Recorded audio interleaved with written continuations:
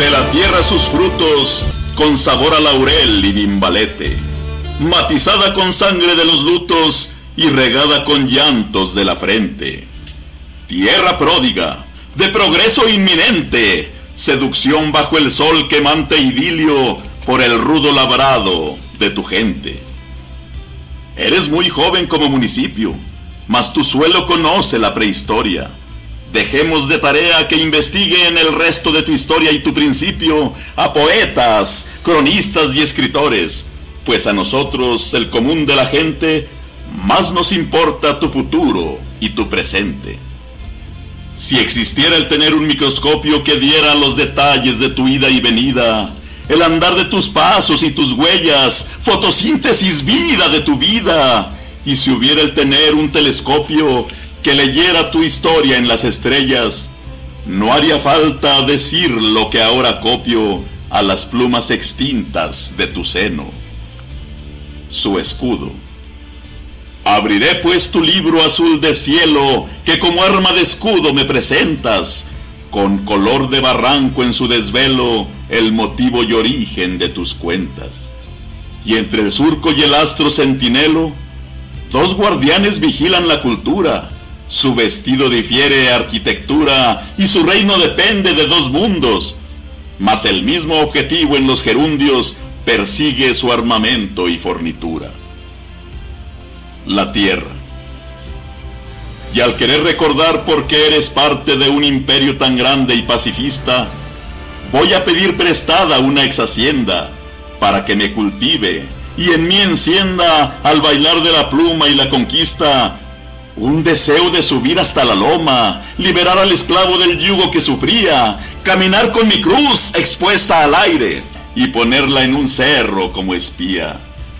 Sus hombres, no hace ni mucho que emigró a lo lejano la pluma extinta de tu firme mano.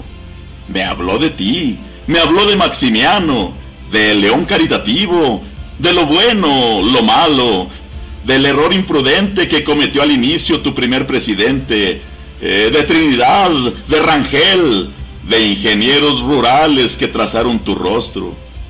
Y el fantasma de Isidro, ah, ya sé, reafirma eternamente en acuerdo con Romo lo que es y lo que fue, y vigilan con celo y un fervor sobrehumano el fragmento de cielo que les dio justa fe.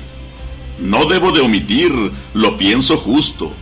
Mencionaré al que se ha hecho cronista por el gusto, viendo el final de longevo como injusto.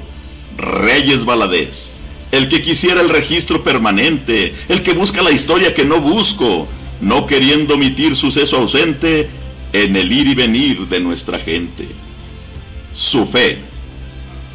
Campo haré al relicario del anillo, aquel del gran refugio de menores, que llámese de Lourdes, de Dolores, de Fátima, del Carmen, del Rosario, es la Madre de Dios, es Madre nuestra, ella sana del mundo sus temores y es regalo del Padre en su respuesta.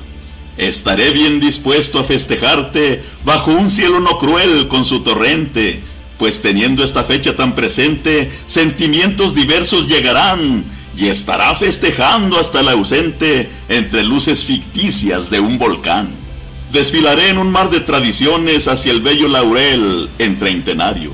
Escucharé en diciembre el campanario donado por el bronce de tu gente y fundiendo la fe con oraciones en un grito de llanto y alegría, veré al Verbo en los brazos de María, quien estrena con júbilo en su frente el oro de las aves por sus cuentas, llevado como ofrenda de su gente. Y contemplo con gusto cuando pasan los niños felices a la escuela en busca de su senda, y el orgullo que llevan la prepa y el cebetis en su eterna contienda. Después, te sueño enorme, te veo gran ciudad y copio a las que existen diciéndome a mí mismo.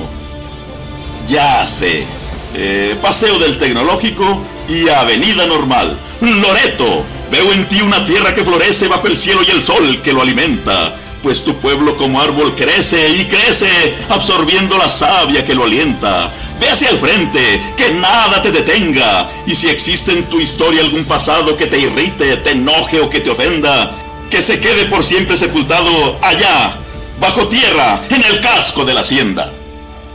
Loreto, Zacatecas, septiembre del 2004. José Luis Salas Romo.